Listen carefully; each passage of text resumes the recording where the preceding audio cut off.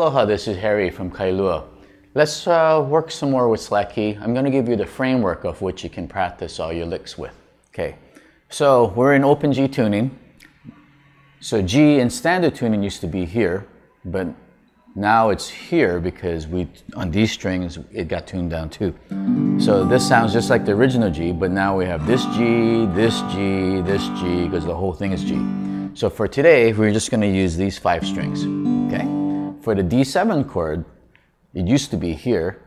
This string gets affected because it was tuned down two, so I'm going to move it up two to make it sound exactly the same. But let's make it easier today. If I remove the baby finger, this is already tuned to the letter D.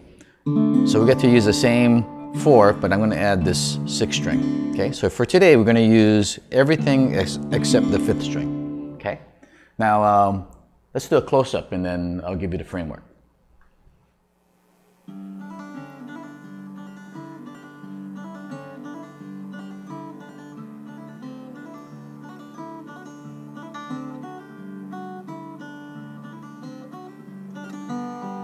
Okay, that's an example of what we're trying to get to with our framework that I'm going to show you today. This is to apply all the licks that I've shown you uh, earlier, and some more, I will add some more. Um, this is a very Hawaiian chord progression. Uh, it's got 10 measures. So look on the screen, and you're going to notice there's four measures of G.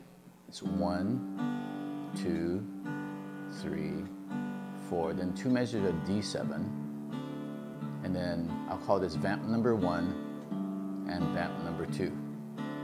And it starts all over again. So this is a, a rhythm that actually comes from the rhythm of the Hawaiian chants.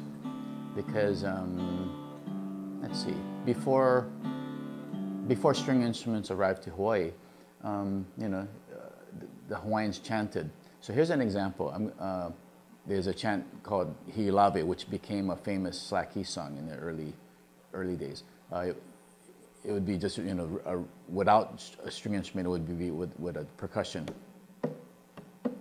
And there was chant songs like Kumaka Kai Kenaya Hi'ilawe, you know. But then as the missionaries came and, and brought over uh, church hymns for the Hawaiians to sing, and also as different immigrants arrived to uh, Hawaii, um, Hawaiians began to sing along with string instruments. So the early Hawaiian slack key songs are basically chants turned into songs. So here's an example. So I'll just sing the words of Hi'ilawe to this chord progression. So it'll be like, I'll just start with the vamp section. Yeah. Kumaka kai kenaya kapapalohi mai au maukele. So this isn't the only chord progression in um, early slack key, but uh, this is a very common one. So around this framework, I'm going to uh, allow you to uh, work your uh, different things. So the G section, uh, things that I had shown you before,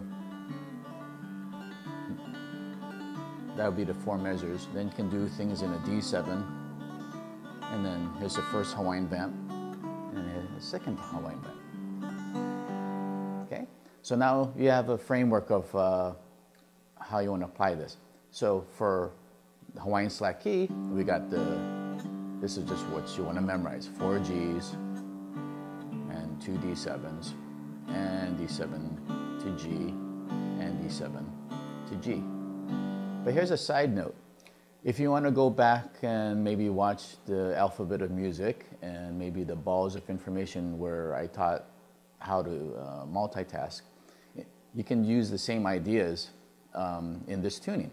So if this is tuned to a G chord, G, G sharp, this is A. So you can use this for your blues. If this is an A chord on the second fret, then you got A, B, C, C sharp, D. So D would be now on the seventh fret, and E would be on the ninth fret. So you can practice like this and practice blues. So here's your uh, for blues, you got 12 bars. So you got A, 2, 3, 4, A, 2, 3, 4. You can fancy up 2, 3, 4. And then two measures of D 2, 3, 4, D, 2, 3, 4, A, 2, 3, 4, A, 2, 3. E, D, 2, 3, 4, A, 2, 3, 4, E. Okay, so you can play blues even in this tuning. Now, the scale that I used earlier um, in the early videos, the A minor pentatonic scale in standard tuning would have been here. But these three strings were affected by us tuning two frets lower. So now if you want to play the A minor pentatonic in this tuning, it would be here for one, four, one. Then these three strings are the same. And then this one you have to go. So you can still play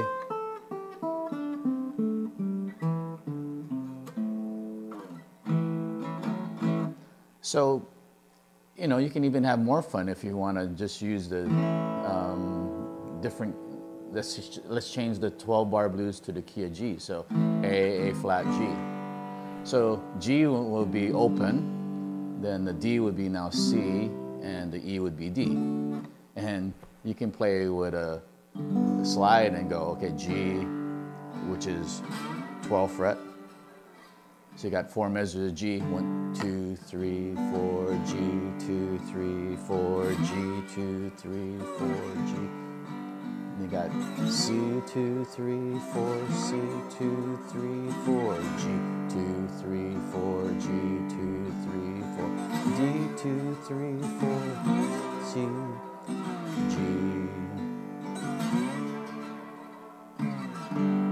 So this G tuning is used by, say, Keith Richards of the Rolling Stones in blues, because he learned it probably from inspired from watching blues players like Muddy Waters.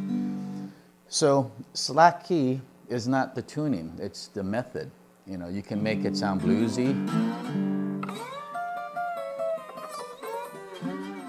or you can make it sound Hawaiian.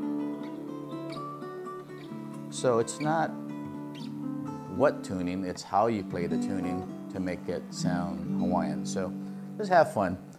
Just more things to think about.